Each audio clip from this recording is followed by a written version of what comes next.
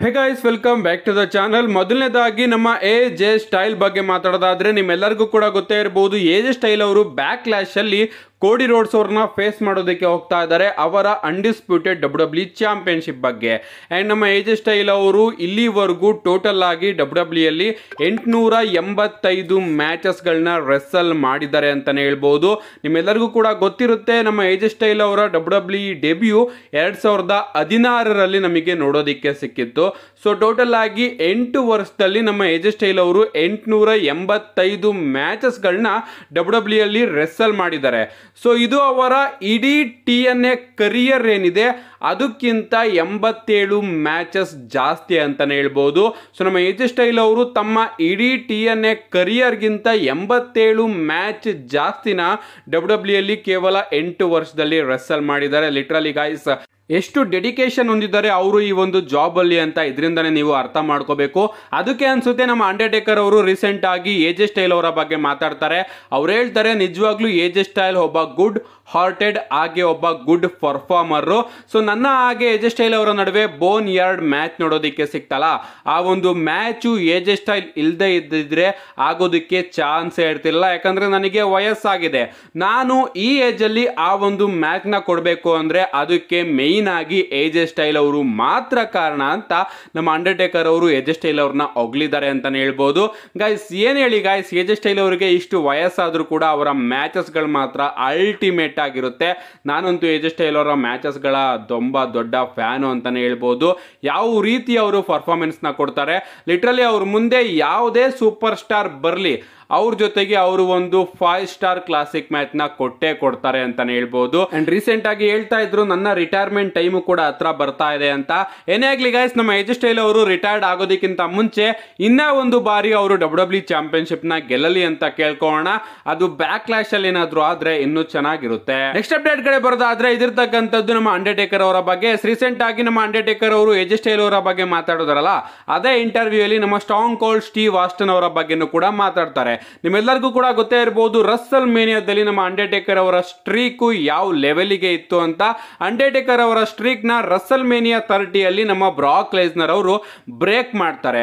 But ಈಗ ನಮ್ಮ Undertaker ಅವರು ಒಂದು ದೊಡ್ಡ ವಿಚಾರನ ರಿವೀಲ್ ಮಾಡಿದ್ದಾರೆ. ಅವ್ರು ಹೇಳ್ತಾರೆ, ಬ್ರಾಕ್ ಲೇಸ್ನರ್ಗಿಂತ ಮುಂಚೆ ರಸ್ಸಲ್ ಮೇನಿಯಾದಲ್ಲಿ ನನ್ನ ಒಂದು ಮ್ಯಾಚ್ ಏನಾದರೂ, ಸ್ಟಾಂಗ್ ಕಾಲ್ ಸ್ಟೀವ್ ಆಸ್ಟನ್ ಅವರ ಜೊತೆ ಏನಾದರೂ ಆಗಿದ್ದಿದ್ರೆ, ಆ ಒಂದು ಮ್ಯಾಚ್ ಅಲ್ಲಿ ನನ್ನ ಸ್ಟ್ರೀಕು ಬ್ರೇಕ್ ಆಗ್ತಾ ಇತ್ತು ಅಂತ ನಮ್ಮ ಅಂಡರ್ಟೇಕರ್ ತಿಳಿಸಿದ್ದಾರೆ. ಲಿಟ್ರಲಿ ಗಾಯ್ಸ್ ನಮ್ಮ ಸ್ಟಾಂಕಲ್ ಸ್ಟೀವ್ ಆಸ್ಟನ್ ಹಾಗೆ ಅಂಡರ್ಟೇಕರ್ ಅವರ ಮ್ಯಾಚ್ ನಮಗೆ ರಸಲ್ ಮೇನಿಯಾದಲ್ಲಿ ನೋಡೋದಕ್ಕೆ ಸಿಕ್ಕಿಲ್ಲ. ನಮ್ಮ ಸ್ಟಾಂಕಲ್ಡ್ ಅವರಿಗೆ ನೆಕ್ ಇಂಜುರಿ ಆಯಿತು. ಅದರಿಂದ ಅವರ ಡಬ್ಲ್ಯೂ ಡಬ್ಲ್ಯೂ ಕರಿಯರೇ ಓವರ್ ಆಯಿತು ಅಂತಾನೆ ಹೇಳ್ಬೋದು. ಅವರಿಗೇನಾದರೂ ಇಂಜುರಿ ಆಗ್ದಲೇ ಇವರ ಮ್ಯಾಚ್ ಏನಾದರೂ ರಸಲ್ ಮೇನಿಯಾದಲ್ಲಿ ಆಗಿದ್ದಿದ್ರೆ ಹಂಡ್ರೆಡ್ ಪರ್ಸೆಂಟ್ ನಮ್ಮ ಸ್ಟಾಂಕಲ್ ಸ್ಟೀವ್ ಆಸ್ಟನ್ ಅವರು ನನ್ನ ಒಂದು ರಸಲ್ ಮೇನಿಯಾ ಸ್ಟ್ರೀಕ್ನ ಬ್ರಾಕ್ಲೇಸ್ನರ್ಗಿಂತ ಮುಂಚೆನೆ ಬ್ರೇಕ್ ಮಾಡಿರೋರು ಅಂತ ನಮ್ಮ ಅಂಡರ್ಟೇಕರ್ ಅವರು ಕಮೆಂಟ್ ಮಾಡಿದ್ದಾರೆ. ಲಿಟ್ರಲಿ ಗಾಯ್ಸ್ ಆಗಿದ್ದಿದ್ರೆ ಚೆನ್ನಾಗಿರೋದು ಬಟ್ ಏನು ಮಾಡೋದಕ್ಕಾಗುತ್ತೆ ಎಲ್ಲ ಹಣೆ ಬರಹ ಯಾವುದು ನಮಗೆ ಸರಿಯಾಗಿ ಆಗಲಿಲ್ಲ. ನೆಕ್ಸ್ಟ್ ಅಪ್ಡೇಟ್ ಕಡೆ ಬರೋದಾದ್ರೆ ಇದಿರ್ತಕ್ಕಂಥದ್ದು ಸ್ಮ್ಯಾಕ್ ಡೌನ್ನ ಸ್ಟೇಜ್ ಬಗ್ಗೆ. ನೀವಿಲ್ಲಿ ಫೋಟೋಸ್ಗಳನ್ನ ನೋಡ್ತಾ ಇರ್ಬೋದು. ಐ ಥಿಂಕ್ ಎ ಐ ಅಲ್ಲಿ ಅಥವಾ ಗೇಮಲ್ಲಿ ಕ್ರಿಯೇಟ್ ಮಾಡಿರೋದು ಅಂತ ಅನ್ಕೋತೀನಿ. ಅಫ್ಕೋರ್ಸ್ ಅದರಲ್ಲೇ ಕ್ರಿಯೇಟ್ ಮಾಡಿರ್ತಾರೆ. ಲಿಟ್ರಲಿ ಗೈಸ್ ಎಷ್ಟು ಅದ್ಭುತವಾಗಿ ಕಾಣಿಸ್ತಾ ಇದೆ ನೀವು ಇಲ್ಲಿ ನೋಡ್ತಾ ಇರ್ಬೋದು. ಮುಂಚೆ ಡಬ್ಲ್ಯೂ ಡಬ್ಲ್ಯೂ ಸ್ಮ್ಯಾಕ್ ಡೌನ್ನ ಸ್ಟೇಜು ಇದೇ ರೀತಿ ಕಿರ್ತಾ ಇತ್ತು. ಅಂದರೆ ಅಲ್ಲಿ ದೊಡ್ಡ ಫಿಸ್ಟ್ ನಮಗೆ ನೋಡೋದಕ್ಕೆ ಸಿಗ್ತಾ ಇತ್ತು. ಆ್ಯಂಡ್ ಈಗ ಅದೇ ರೀತಿ ಇವರು ಡಿಸೈನ್ ಮಾಡಿದ್ದಾರೆ. ಗಾಯ್ಸ್ ಈಗ ಡ್ರಾಫ್ಟ್ ಬೇರೆ ಬರ್ತಾ ಇದೆ. ತ್ರಿಪಲ್ ಎಚ್ ಅವರು ಹೊಸ ಎರಾ ಅಂತ ಬೇರೆ ಪ್ರಾರಂಭ ಮಾಡ್ತೀನಿ ಅಂತ ಇದ್ದಾರೆ. ಸೊ ಸ್ಟೇಜ್ಗಳನ್ನು ಸ್ವಲ್ಪ ಬದಲಾವಣೆ ಮಾಡಿದ್ರೆ ನನ್ನ ಪ್ರಕಾರ ಗಾಯ್ಸ್ ನೆಕ್ಸ್ಟ್ ಲೆವೆಲಲ್ಲಿರುತ್ತೆ ಅದರಲ್ಲೂ ಇದೇ ಏನಾದರೂ ಸ್ಟೇಜ್ ಆಗಿಬಿಟ್ರೆ ರೀತಿ ಮಿನಿ ರಸಲ್ ಮೇನಿಯಾ ತರ ಕಾಣಿಸ್ತಾ ಇದೆ ನನಗೆ ಈ ಒಂದು ಸ್ಮ್ಯಾಕ್ ಡೌನ್ನ ಸ್ಟೇಜು. ಸೊ ಏನೇ ಆಗಲಿ ಗೈಸ್ ನೋಡೋಣ, ಹೊಸ ಏರಾ ಅಂತ ನಮ್ಮ ಟ್ರಿಪಲ್ ಎಚ್ ಅವರು ಹೇಳ್ತಾ ಇದ್ದಾರೆ ಹೊಸ ಏರಾದಲ್ಲಿ ಹೊಸ ಸ್ಟೇಜ್ ನೋಡೋದಿಕ್ಕೆ ಸಿಕ್ಕರೆ ಚೆನ್ನಾಗಿರುತ್ತೆ.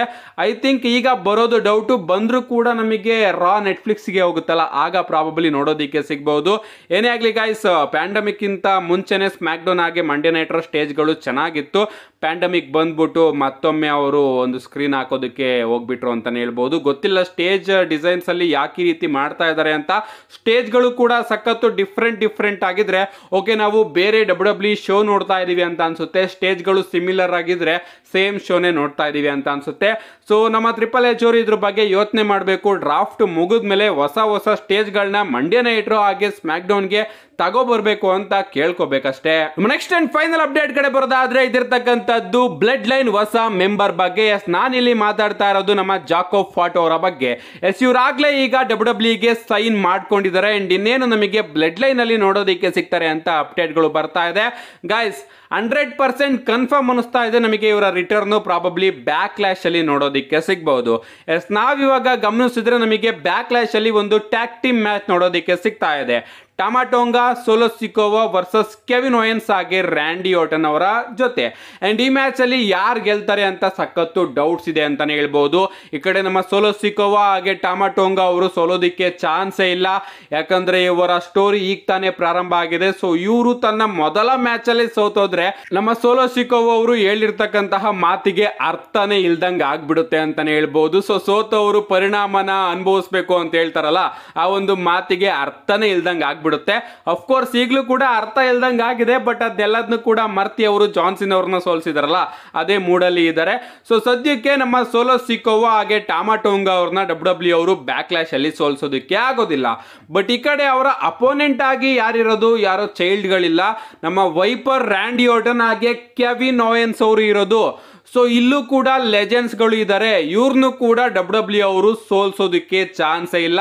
ಸೊ ಪ್ರಾಬಬ್ಲಿ ಡಬ್ಲ್ಯೂ ಡಬ್ಲ್ಯೂ ಅವರು ಇಲ್ಲಿ ಒಬ್ಬ ಬ್ಲಡ್ ಲೈನ್ ಮೆಂಬರ್ನ ಇಂಟ್ರೊಡಕ್ಷನ್ನ ಮಾಡಬಹುದು ಆ ಮೆಂಬರ್ ಯಾರು ಅಲ್ಲ ಗಾಯ್ಸ್ ನಮ್ಮ ಜಾಕೋ ಫಾಟೋ ಅವರು. ಸೊ ಇವರ ಮ್ಯಾಚ್ ಆಗಬೇಕಾದ್ರೆ ನಮಗೆ ಜಾಕೋ ಫಾಟೋ ಅವರ ಎಂಟ್ರಿ ನೋಡೋದಕ್ಕೆ ಸಿಕ್ಕಿ, ಇವರು ಈ ಒಂದು ಮ್ಯಾಚ್ ಅಲ್ಲಿ ಇಂಟರ್ಫೈರ್ ಮಾಡಿ ನಮ್ಮ ರ್ಯಾಂಡಿ ಓಟನ್ ಹಾಗೆ ಕೆವಿನ್ ಓಯನ್ಸ್ ಅವರು ಸೋಲೋದಕ್ಕೆ ಕಾರಣರಾಗಬಹುದು ಸೊ ಡಬ್ಲ್ಯೂ ಡಬ್ಲ್ಯೂ ಅವರು ಇದೇ ರೀತಿ ಪ್ಲಾನ್ ಮಾಡುತ್ತೆ ಅಂತ ಅನ್ಕೋತೀನಿ.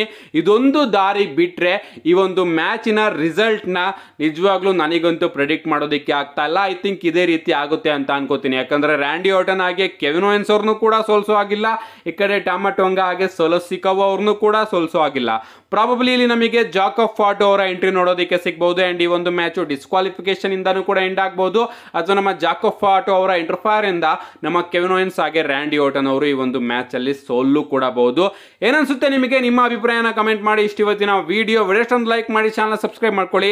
See you guys in my next video